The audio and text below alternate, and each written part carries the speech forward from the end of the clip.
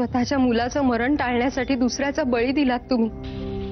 काय मिळालं हे सगळं करून तुम्हाला अवसाहेब रेवा आम्हाला आमची चूक कळते जी पण मुलाच्या मायेपोटी आम्ही पण त्याच मुलाला जेव्हा कळेल की त्याचा जीव वाचवण्यासाठी त्याच्या आईने त्याच्या बायकोचा जीव घेतला तेव्हा काय वाटेल त्या मुलाला? तुम्ही बघालच मी काय करतो ते.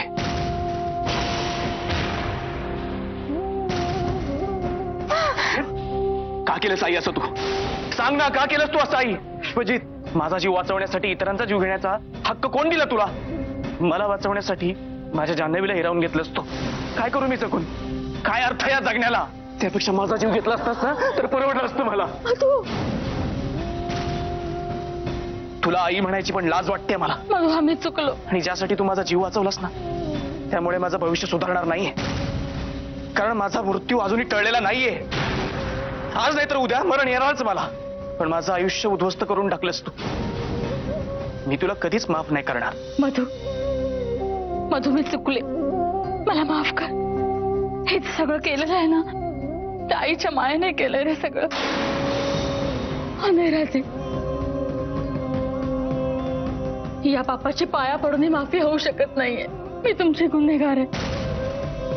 माझ्या मुलाचं आयुष्य वाचवण्यासाठी मी तुमच्या आयुष्याशी खेळले. नाही मला माफ़ कर. हे काय करताय तुम्ही? त्याची काहीच गरज नाही खेळ तर आपल्या बरोबर नशिबाने खेळलाय. आपल्या सगळ्यांबरोबर. कारण इथे जितकं तुम्हाला कोणी ओळखत नाही ना तितकं मी ओळखतो. आऊसाहेब मी तुमच्या पदराच्या सावलीखाली वाढलोय. भावनेच्या भरात माझ्यासाठी तुम्ही अनेक टोकाचे निर्णय घेतलेत. तुम्ही हे सगळं जे काही केलं ते आपल्या मधूच्या भल्यासाठी केलं. विश्वजित मला माहितीये जान्हवीच्या जाण्याने तुझ्या आयुष्यात खूप मोठा आघात झालाय. पण आमचे आऊसाहेब खुनी नाही आहेत. त्यांनी हे सगळं भावनेच्या भरात केलं. तुझ्या प्रेमापोटी तू मला सांग जान्हवीच्या प्रेमापोटी तुझ्यामुळे खूप आयुष्य डिस्टर्ब झालीच ना? मग तसंच आऊसाहेबांनी केलं. तुझ्या प्रेमापोटी. आम्ही पोलिसांना कधीच बोलवलं. ते म्हणा ते येतीलच. आम्हाला आमचे सगळे गुन्हे कबूल आहेत तुमच्या इब्रातीला या वाड्याला आम्ही धक्का लागू देणार नाही. आजपासून आम्ही आऊसाहेब नाही. तर फक्त कौशल्य.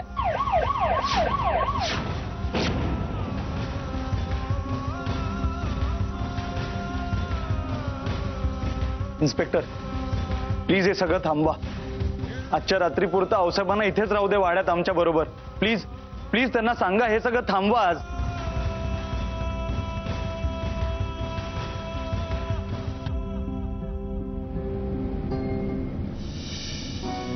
मधु बाळा शांत हो रे मधु शांत हो। कसा शांत होऊ मी? सांगा ना कसा शांत होऊ? माझ्या आईने केलं हे सगळं. अरे त्यांच्याबद्दल असा गैरसमज करून घेऊ नको रे पोरा. त्यांची तुझ्यावर खूप माया आहे बघ. आईचं प्रेम आंधळ असतं असं म्हणतात ते खोटं नाही रे बाळा. मी पाहिलंय.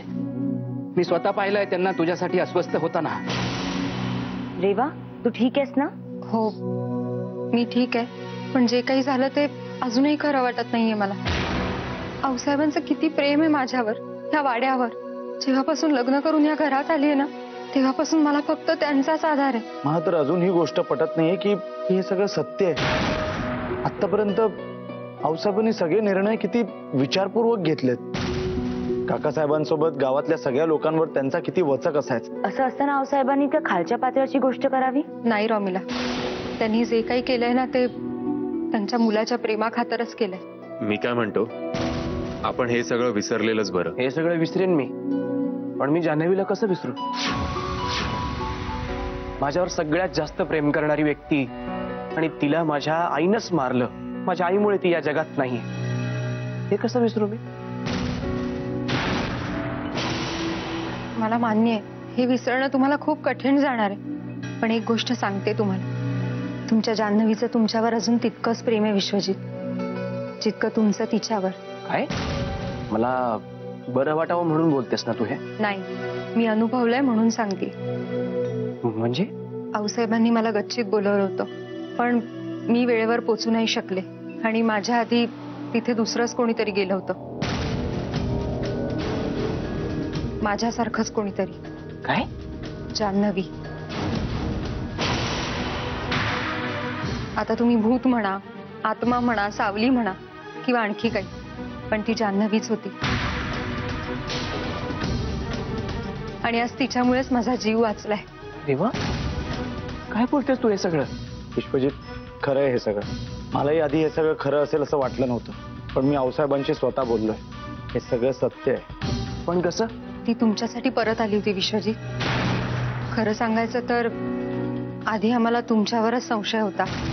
पण तिनेच हे सत्य जगासमोर आणलं. तुमच्यासाठी तिला यावंच लागलं. आणि ती आली. पण मग असं आहे तर ती मला का दिसत नाही? ती येऊन मला का बोलत नाही? कदाचित तिला असं वाटलं असेल की तुम्हीही तिच्यातून मुक्त व्हावं. आणि मलाही तेच वाटतंय.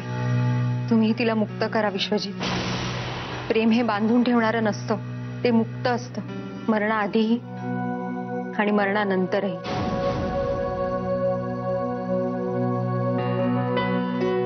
सगळ्या फॉर्मॅलिटीज पूर्ण झाल्या आहेत कौशल्या देवी आजची रात्र फक्त इथे राहू शकतात.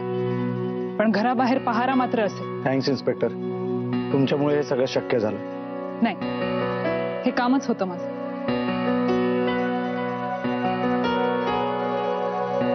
मी इन्स्पेक्टर आहे ना? काय रोमिला मॅडम?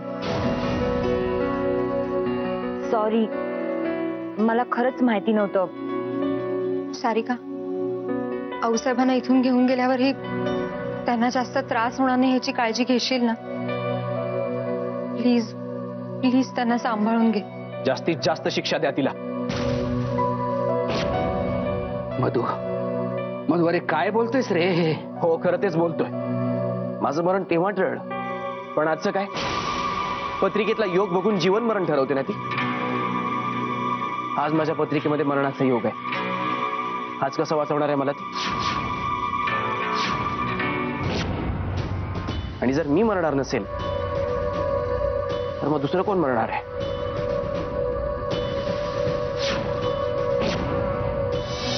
तुमच्या वाड्याला गालबोट लागणार नाही जी. काही झालं तरी तुमच्या वाड्याची मरेपर्यंत सेवा करेन, असं मी तुम्हाला वचन दिलं होतं. पण मी ते पाळू शकले नाही. मी चुकले. खूप चुकले. तुम्हाला लाज वाटत असेल ना माझी? मलाच माझी लाज वाटते. पण आता मी काहीच करू शकत नाही. या वाड्याला शेवटचं पाहून घेते मी. आता परत ही वास्तू पाहायला मिळणार नाही. कारण कारण मला प्रायश्चित्त करायचंय.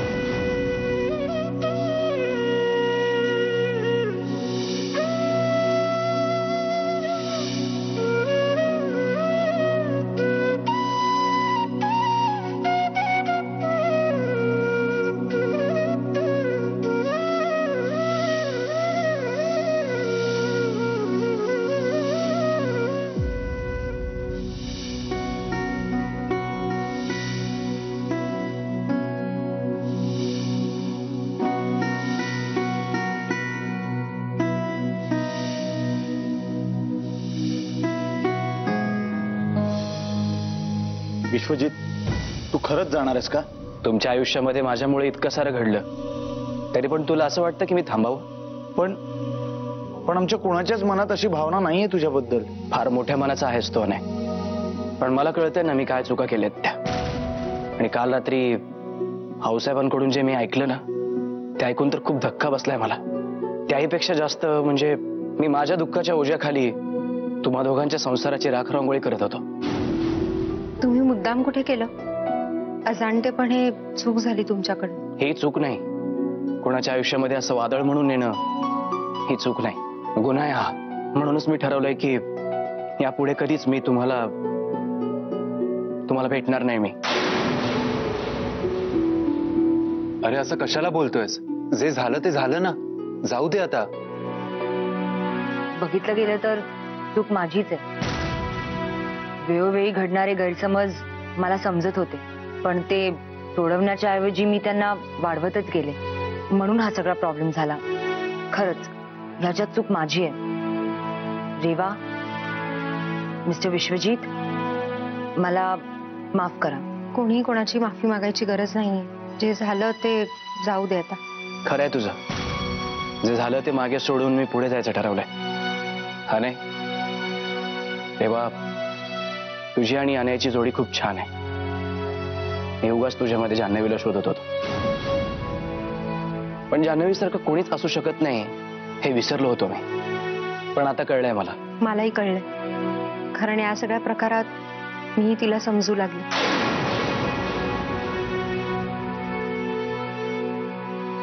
या डायरीतून तीही मला भेटत गेली. ही घ्या, तुमच्या डायरी. तिची शेवटची आठवण. नाही नको. का? जान्हवी माझा भूतकाळ होती. आणि मी आता भविष्याकडे जायचं ठरवलंय. आणि तूच म्हणाली होतीस ना मी जान्हवीला मुक्त करावं म्हणून. तेच करतोय मी. त्यामुळे आता हे सोबत घेऊन जाणार नाही मी. या वाड्यामध्ये घालवलेल्या बऱ्याच आठवणी आहेत माझ्यासोबत. इथे भेटलेली नाती तुम्ही सर्वांनी दिलेलं प्रेम आयुष्यभर अनाथ म्हणून वाढलो पण आता एक परिवार घेऊन चाललोय. यामध्ये नाही मला. येतो.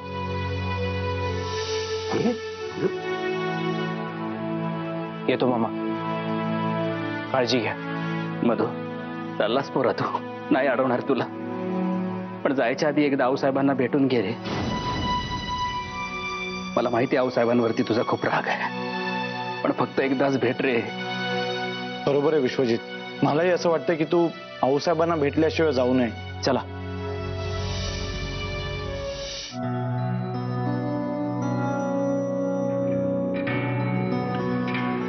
रे आऊसाहेब अजून झोपले तर आऊसाहेब हो आऊसाहेब आऊसाहेब आऊसाहेब बघा विश्वजित भेटायला आलाय तुम्हाला. पावसाहेब उठा ना. आऊसाहेब आऊसाहेब काय झालं आऊसाहेब उठा ना. आऊसाहेब आऊसाहेब आऊसाहेब काय झालं तुम्हाला? एक एक मिनिट थांब. काय करता भाऊजी? आऊसाहेब काय झालं? दादा. आऊसाहेब दादा बोल ना. मेघदत्ता? काय काय झालंय? आऊसाहेब आऊसाहेब आऊसाहेब आपल्याला सोडून गेल्यात काय?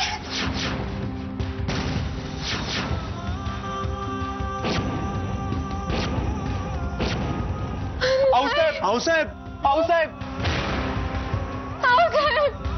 आऊसाहेब आता काय केलं तो आऊसाहेब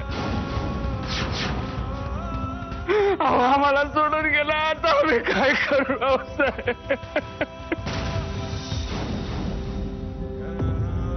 आऊसाहेब गुंडप्पा दादा। दादा बघ ना। आऊसाहेब आऊसाहेब आऊसाहेब आऊसाहेब आयुष्य खूप सुंदर आहे. हसा आनंदी राहा. दुःख व्यक्त करण्यास खूप छोट आहे. मी हे आयुष्य खूप चांगल्या प्रकारे जगले. आनंद व्यक्त केला. काही बरोबर निर्णय घेतले तर काही चुकीचे. काही केले.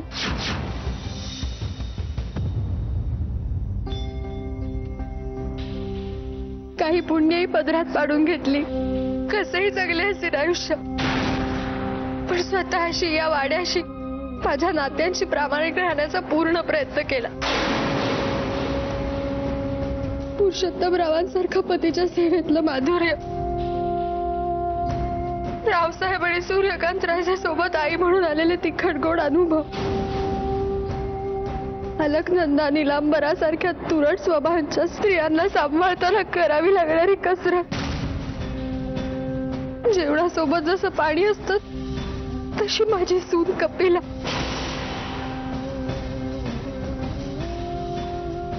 मेघरत्न राजेंसारखं त्यांच्या स्वभावातला झणझणीतपणा टोमिलाचा स्वभाव लोणच्याच्या फोडीसारखा आंबट अनय राजे म्हणजे पापळासारखे नमकीन हवे हवेसे वाटणारे श्रीखंडासारखी गोड माझी रेवा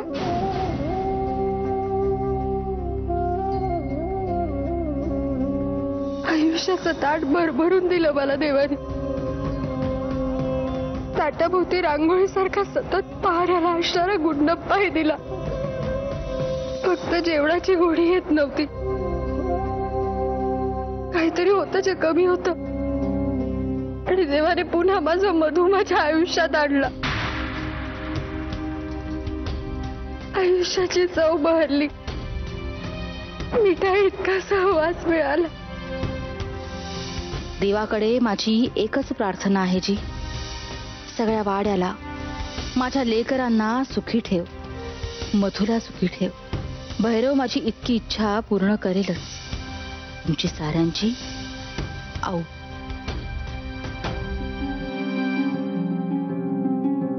चक्र पूर्ण झालं विश्वजित. तुमची जान्हवी तुम्हाला सोडून गेली चक्र सुरू झालं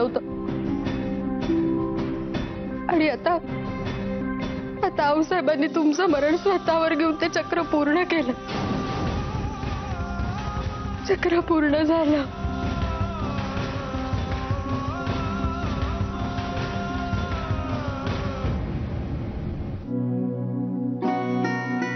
एक वर्ष गेलं आऊसाहेब. या एका वर्षाने खूप काही शिकवलं मला. तुमचे आशीर्वाद सोबत होतेच जमत गेल. ह्या वाड्याची संपूर्ण शिपुरापुराची जबाबदारी आमच्यावर येऊन पडली. वर्षभर आम्ही ती नीट सांभाळली. पण याच्या पुढेही आम्हाला ती अशीच सांभाळता येईल म्हणून तुमचे आशीर्वाद आमच्यावर असू द्या. अक्का का? ते आले जे. चला. चला.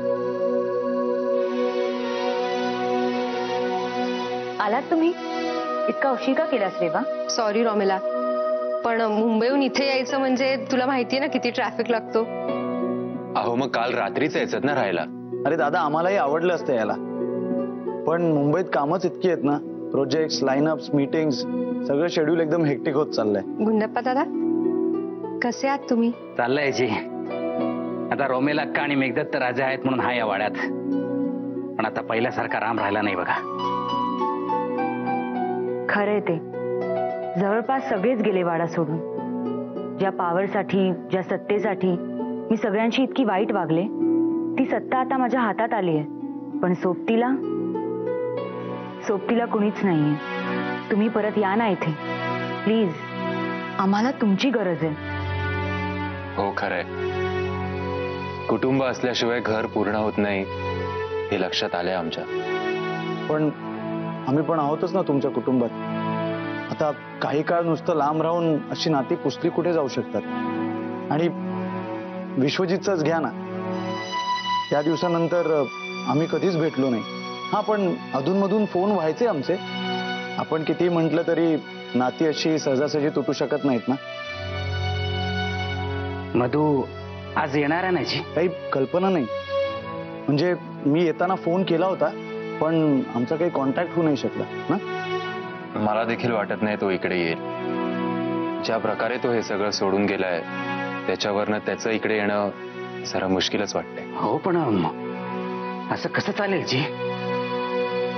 तो आल्याशिवाय पिंडाला कावळा शिवणार नाही जी? नाही. असं नाही होणार. मला खात्री आहे. ते नक्की येतील. रेवा तुला खरंच असं वाटतंय? हो. कारण काही झालं तरी आऊसाहेब त्यांच्या आई होत्या.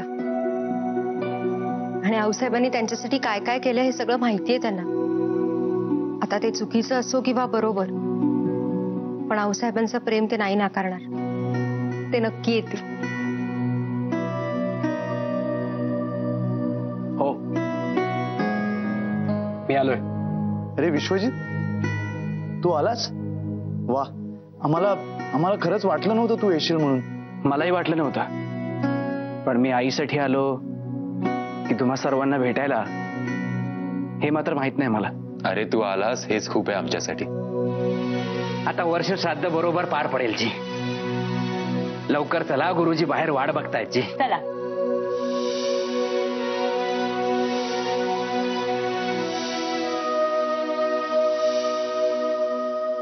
भाऊसाहेब येतो आम्ही. तुमची कृपा आणि तुमचे आशीर्वाद आमच्यावर सदैव असू देत आजपर्यंत या घराने खूप काही पाहिलंय. आता या घरात फक्त सुख आणि शांतता नांदेल असाच आशीर्वाद द्या. चला निघायची वेळ झाली. यानंतर आपण भेटू की नाही माहित नाही.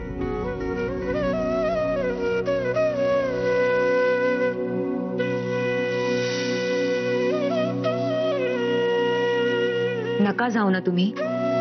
हवं ही राजगादी, ही सत्ता सगळं मी परत द्यायला प्लीज़ तुम्ही जाऊ नका. रॉमिला, शांत. हो. तू अजूनही परिवार आणि सत्ता यामध्ये गफलत करतेस. तू या घरची मोठी सून आहेस.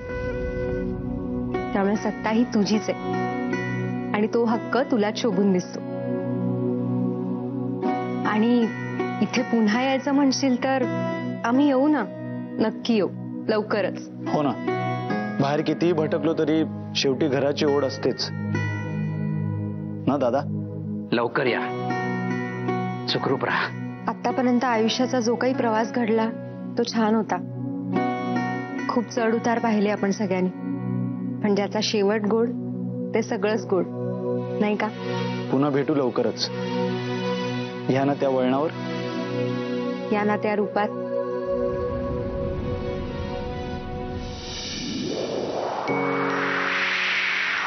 कुठे दूर तारा कुठे हा किनारा? सारेच भासे नव्या सारखे जिथे रात राणी आता दरवळेल नवा